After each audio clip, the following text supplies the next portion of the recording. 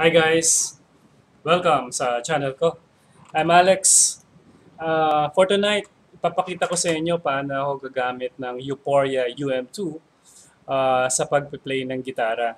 So, meron ako ditong uh, hawak ko ngayon ay Euphoria Behringer, uh, Euphoria UM2. So, eto yon. Uh, titignan natin kung paano, paano, paano natin patutugtugin ito ng maganda.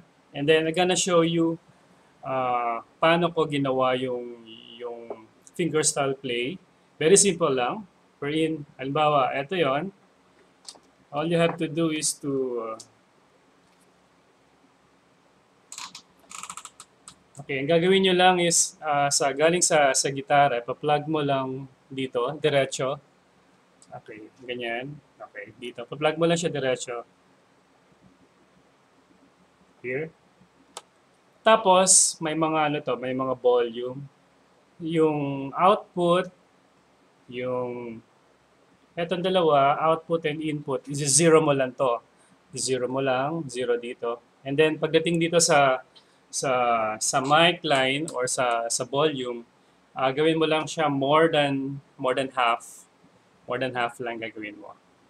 So yun lang, mag-adjust lang kayo, uh, tignan nyo ano yung maganda pero based sa experience ko, uh, hindi mo siya hindi siya hindi maganda yung yung sound system pag sumobra ka ng half. Ah, kung sumobra ka ng uh, almost more than half So siguro uh, konting ano lang, konting adjustment lang halfway. Pero hindi hindi totally sobrang sobra kasi uh, ang pangit ng tunog pag pag sumobra ka lalo na kung i-full volume mo etong Behringer, no? Etong Euphoria UM2. So, tignan nyo mamaya guys kami yung tunog and kayo na mag-decide kung uh, whether this amplifier is okay for you guys. Now, uh, kaya ko ginawa to, ano, itong review na to is because gusto ko i-share sa inyo na uh, halos lahat ng mga guitar player na nag-represent sa YouTube ay gumagamit sila ng preamp. Akala natin kasi uh, puro ano lang yan eh, puro plain gitara na ginagamit. They were using a lot of preamplifier na magaganda. They invest a lot on preamp para their presentation is also maganda, no? So that's the reality in life.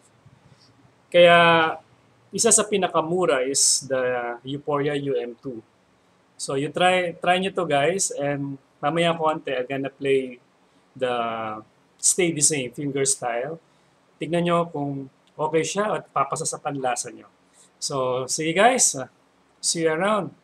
Ito na yung play ko. Stay the same fingerstyle version using Euphoria UM2. Thank you. Uh, see you around. Bye.